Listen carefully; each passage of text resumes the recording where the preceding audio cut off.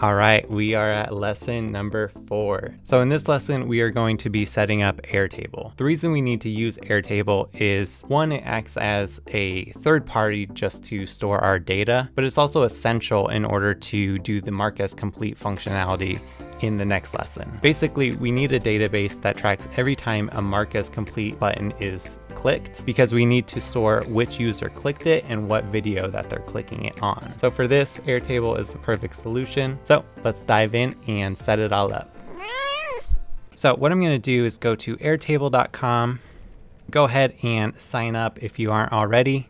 I'm going to add a base and start from scratch gonna call this uh, no code membership demo. Let's just make this like pink. All right, so the first table that we want to do is we want to store uh, the members. So let's uh, rename this, call this members. So what we want to do is have the member name. So I'm just to rename this to member name. We also want their email address, email address, and then change this to email. Click save. And then I also want to store their item ID from Webflow.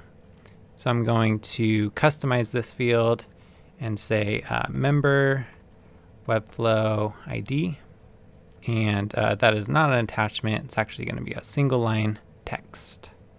Perfect. All right, so let's go back to Zapier. So we want to add one more step to this Zap to add a row to this table in Airtable. So let's go ahead and do Airtable.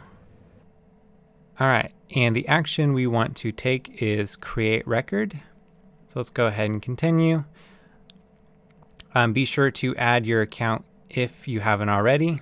And then you can be sure to find your API token on the accounts page. Just click this link Mine's already set up, so I'm just gonna go ahead and select my account, click continue. First off, select the base, the one we just created, no code membership demo, and then the table. There's only one table for now, and that's members.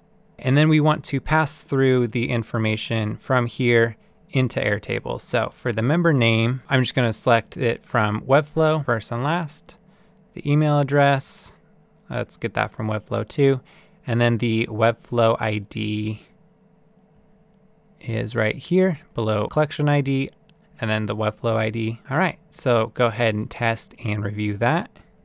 So it says it was successful. Let's go check. Not sure why I created these three rows. Let's uh, delete these. All right, so the member name, the email address, and the Webflow member ID are all good to go. All right, so this whole Zap is done. So we can go ahead and done. Let's uh, be sure to actually rename all this. So I'm gonna call this new member sign up or no code membership demo, new member sign up. And then we can actually edit these to be more specific. So new member signs up. Um, add member to member collection. This, what we're doing is updating member with Webflow item ID. And then here we are adding to member table in Airtable. All right, click done and then be sure to turn this zap on. All right, so now let's go back to Airtable and we're gonna set up a new table as a reference and this is gonna be called completed videos. So this table is to track every time somebody clicks the mark as complete so we can store which member marked which video as watched. So here I wanna store the uh, video name, video name. I'm gonna do a member name as well. I also want to store the video Webflow ID. And then that's going to be a single line as well. And then here we want to connect it to this members table. So we're going to add a reference field.